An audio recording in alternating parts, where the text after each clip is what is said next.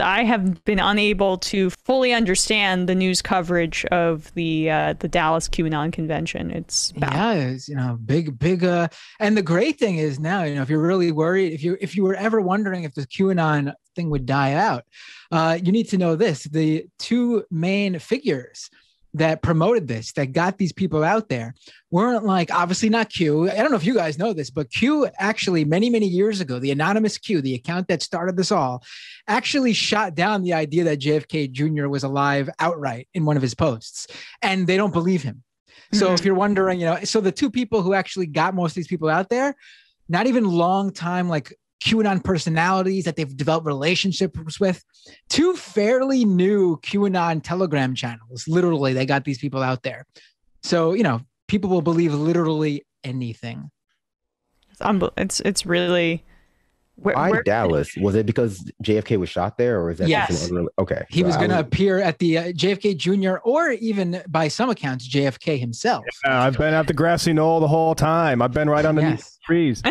JFK and Tupac were going to pop out of like I guess you know a, a sewer You're- grate. You're joking about the Tupac thing, but uh, it is not a joke, actually. They also believe that various other celebrities, including people like Robin Williams and Tupac, are Yeah. also secretly alive and we're going to uh, eventually, maybe even alongside JFK uh, and JFK Jr., reveal themselves to be alive. I'm not even shitting you. Like, they people were waiting for like Michael Jackson to show up too at the Dallas Why event. do they think the celebrities are on their side? Is my question. Why would Tupac be on the QAnon side? Why would JFK, the liberal president, be on Because they hate side? pedophiles, obviously. Right. right.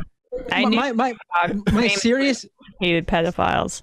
my serious answer is that uh, deep down with a lot of these conspiracies, especially after I covered the NESARA conspiracy uh, two weeks ago on my show, uh, a lot of these people are unable to deal and grasp the regular things that we all go through in life, such as death. And you'll notice that a lot of these celebrities that they want to be alive. Remember, we're talking a conspiracy that mm, at least the JFK, a JFK contingent, mostly people who were alive when JFK was alive, even if they were very young, you know, boomer aged uh, people, uh, they uh, can't deal with the fact that people they liked when they were young and like admired and looked up to, like celebrities from the time, uh, are dead. And so they hold out hope that all these random conspiracies are true. So, you know, their their favorite Mork and Mindy actor could still be there waiting for them to, you know, who knows what. But that, that's really what I think most of this is about Yeah. is people unable to deal with like the realities of life. So they grasp these conspiracy theories to hope for something different. Yeah, That's and also why they added that scene at the end of Batman, uh, The Dark Knight Rises, where you see Catwoman and Bruce Wayne eating, uh, I don't know, like croissants at like a Paris uh, Mhm. cafe, or Michael Caine sees it, not us, but Michael Yes, Caine sees it in the movie. them. So, like, I mean, had any of them gone to like a local cafe and maybe they could have seen JFK Jr. having a croissant with like Aaliyah or something, you know? Maybe they should do that, right? Yeah, I mean the Aaliyah, de- Aaliyah probably doesn't know. They probably don't care about Aaliyah out, out of their age category. Oh, come on. Everyone loves Aaliyah. this is ridiculous. I mean, honestly, I can't remember what the name of the song is, but the one with, with DMX, uh, she had a lot with DMX, I think, where like they're like ha- doing that dance in like the Matrix style, like uh catacomb of white walls. That, that's one of my favorite music videos. Now, where's Kurt Cobain in all this? um that, Killed by uh Courtney Love. Oh well, don't get started on those. conspiracies. Um, Binder, I think you're right about the like, they just can't deal with death thing too, because in Andrew Call- Callaghan's Channel Five News, he did the uh, one on like anti-maskers, and there's a guy there who basically thinks like Kobe Bryant yes, didn't actually die because he and he was some sort of- executed by the Clintons. and the exact same thing happened with Anthony Bourdain like a year earlier, or, like, or around the same time. My, t- my sense of time's all gone. But yeah, they just, it, it, I and I, I guess in a certain way, like I didn't want to believe certain people died, and you, I, but you can't just. I don't want to believe Kobe died, but it. he died. Like, I mean, it's just, it, I, I wonder how, uh, I don't know how, uh, para, the, the these parasocial relationships like make these I wish I could conspiracy get there. theories that more salient. Like in the time or internet age where you can just like look up everything you want about X celebrity. Yeah, like it's it's it's sort of parallel with like the anti-vaxxers, right? Like a lot of anti-vaxxers are very religious and they don't really care if they, you know, if they did die from if they were part of that you know, point, whatever percent they say it is, because after all, this is like this is the torture for them, and that they just can't wait to get to their real life, the afterlife, you know, in heaven. Uh, you know, so that's how they deal, and they don't care about people around them. The same here, like this is like, but just like in, in a different way. They're these people are unable to deal with the fact that people they like have died. So to cope, they just say, no, they're they're really alive. We, we you know they're they're part of something bigger, and they're here, and eventually they will unveil themselves to be really alive. So that way, you know, they don't have to get depressed that you know they can't watch uh, MJ moonwalk across the stage anymore. I'm willing to entertain the idea that the Clintons had Kobe Bryant killed if someone has a good explanation of why. Uh, you know, he wasn't even playing ball anymore, so it wasn't even to fix a game. So He was going to expose their drinking of blood of children. You, you funny understand, thing, right? the funny That thing is about part that, of the yes, that is the thing.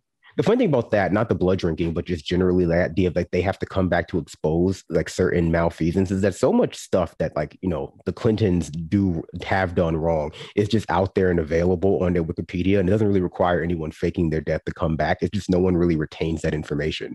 Yeah, so like exposure, is massively overrated. like it doesn't actually do anything. And also, I mean, the the things that they're exposed for doing uh, aren't really of interest to people who are more like evangelical or religiously minded that are caught up in Q because it doesn't have satanic under undercurrents to it. It's just like, oh, this is corruption and capitalism, and our system is really screwy, and the Clintons took advantage of it. Uh, they're not, you know, worshiping Satan and smearing children's blood on their tongues. Well, also they can't because capitalism and like sort of that language of surrounding labor and class is you know stripped from people.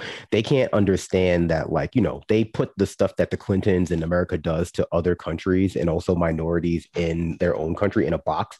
And when that kind of stuff trickles into like you know populations that aren't supposed to be victims of that kind of terror, they have to resort to some kind of weird conspiracy to explain like, well, you know, it's not that uh that the private prison industry ran out of black and brown bodies and so like you know now they're just coming for poor people generally and like uh college tuition uh, debtors you know it's because there's actually some sort of blood drinking satanic cult out there. And it's just like well you can't account account for that you know just generally. But you know this language or rather this lack of language for people to understand why certain things that they have relegated to other populations that's okay are also affecting them directly now or and they have been affecting them indirectly.